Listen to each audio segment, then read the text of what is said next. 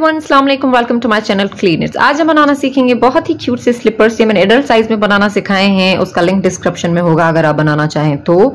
या नीचे कमेंट कर दीजिएगा, मैं आपके साथ शेयर करूँगी। वैसे आप किसी भी साइज़ में ये बना सकते हैं। ये जो साइज़ मैं बना रही हूँ, वो तीन से लेकर एक साल तक के बच्चे के लिए ठीक रहेगा। लेकिन अगर आप और छोटे न्यू बॉर्न के लिए या उससे ज़्यादा बड़े के लिए बनाना चाह रहे हैं तो नीचे कमेंट कीजिएगा। आई विल हेल्प यू कि किस तरह से बनाते हैं। यहाँ पे जो मैं धागा इस्तेमाल कर रही हूँ, ऊन इस्तेमाल कर रही हूँ थ्री प्लाई है और पाँच एम mm की सिलाइयाँ हैं। मैंने वैसे स्टार्टिंग में बताया है कि क्या क्या चीज़ें इस्तेमाल हुई हैं बट फिर भी जिनको इंग्लिश नहीं आती उनके लिए। आप किसी भी साइज़ की सिलाइयाँ और ऊन इस्तेमाल कर लें, बस तरीके को फॉलो कर लें। आप सीधी सिलाइयाँ यूज़ कर सकते हैं, मैं डीपीएन सिर्फ़ सिखाने के लिए इस्तेमाल कर रही हूँ। I am using DPN just to demonstrate you can use any size of needle and yarn आपने 22 फंदे सिलाई पे डाल लेने हैं। Cast on 22 stitches for this size. You can use any method to cast on stitches. If you want to follow this cast on method, search cast on by Cleat Knits. आप किसी भी तरीके से सिलाई पे फंदे डाल सकते हैं अगर आप ये वाला तरीका इस्तेमाल करना चाहते हैं जो मैं कर रही हूँ तो आप सर्च करें कास्ट ऑन बाई क्लीड नेट्स बहुत सारे कास्ट ऑन मेथड निकल आएँगे मैंने बहुत तरीके सिखाए अभी हम 22 फंदे सिलाई पे डाल लेते हैं सिलाई पे फंदे डाल लेने के बाद after casting on stitches row one पहली सिलाई, पहली, दूसरी, तीसरी, चौथी, पांचवी। पाँच सिलाइयाँ हमने सारे फंदे उल्टे उल्टे बुन लेने हैं। राइट और रॉन्ग साइड दोनों तरफ़ से, उल्टी सीधी साइड दोनों तरफ़ से। One two three four five five rows we are going to purl all stitches purl मतलब उल्टा फंदा नेट मतलब सीधा फंदा। ये देखें, सारे फंदे आपने उल्टे बुन लेने हैं। Like like this row 1 purl all stitches. Row 2 3 4 5 purl all stitches. Row one completed पहली सिलाई पूरी हो गई है। अब मैं थोड़ा सा बिगनर को देखें, बता देती हूँ कि दूसरी सिलाई भी इसी तरह ही होगी। ये देखिए, दूसरी सिलाई भी। पहला फंदा आपने थोड़ा सा टाइट बुनना है। First stitch pull little bit tightly उसके बाद सारे फंदे आपने उल्टे बुनते जाने उसी तरह ही। बस दिखा रही हूँ आपको कि आपने पहली सिलाई भी उल्टे बुने, दूसरी भी, तीसरी, चौथी, पांचवी सब उल्टे होंगे।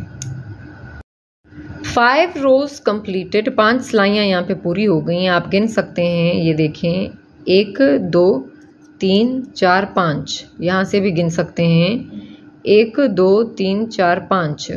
अब ये देखें, ये राइट साइड रखेंगे हम, ये आप देख रहे हैं, ये इस तरह से आपको पता चलेगा कि ये राइट साइड है और ये रॉन्ग साइड है।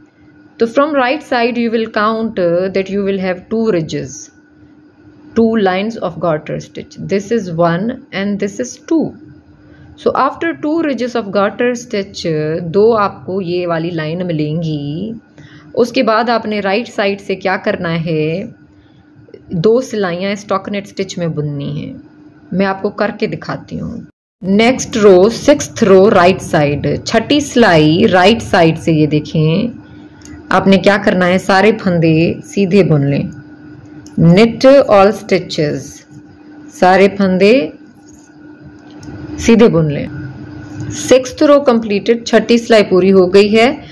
अब सेवेंथ रो हमारी सातवीं सिलाई पर्ल ऑल स्टिचेस सारे फंदे उल्टे बुन लेंगे। अब मज़े की बात, जो उल्टी साइड की सिलाइयाँ होंगी ना, ये देखें, ये उल्टी साइड है। तो उल्टी साइड की सारी सिलाइयाँ उल्टे ही फंदे होंगे। Seventh row completed now keep repeating from row two to seven for your desired length देखें, दूसरी सिलाई से लेकर आपने क्या करना है? सातवीं सिलाई तक रिपीट करते जाना है। हमारा सीक्वेंस क्या होगा कि इस तरह से आपको दो लाइनें मिलेंगी। एक, दो। दो लाइनें मिलेंगी और फिर राइट साइड से आपने क्या करना है? एक सिलाई सीधी, एक उल्टी। बिना खींचे मैंने इसको यहाँ पे नापा है। पाँच इंचेस तक इसकी हमें लेंथ मिली है। Without stretching five inches length we have an इसकी विर्थ में आपको बताऊँ, साढ़े चार इंचेस इसकी विर्थ है। Four and half inches width we have अब हमें साइज़ मिल गई है। राइट साइड है, ये देखिए राइट साइड की जैसे मैंने आपको निशानी बताई है। राइट साइड से अब नेक्स्ट रो आखिर में ये दो रिजेस होनी चाहिए। क्योंकि ये देखें, इधर से भी दो रिजेस हैं, दो लाइनें हैं और इधर से भी दो लाइनें हैं। उसके बाद हम स्टिचेस को बंद कर देंगे। फंदों को बंद कर देंगे। अब फंदे किसी भी तरीके से आप बंद कर सकते हैं। You can cast off stitches with any method you know cast off मतलब फंदों को बंद करना बाइंड ऑफ़ करना। सिंपल वाला मेथड दो फंदों को आप साथ बुनेंगे थ्रू बैक लूप ये देखें इस तरह से। फिर ये फंदे को वापस डाल देंगे आप, फिर से दोनों को साथ बुनेंगे थ्रू बैक लूप पीछे के लूप से। मैं आपको फिर से बताती हूँ कि पीछे का लूप क्या है ताकि बिगनर खोल देखिए हम इस तरह से सीधा फंदा बुनते हैं ना। इस तरह से नहीं डालना, ये फ्रंट लूप्स हैं। ये बैक लूप मतलब यहाँ से।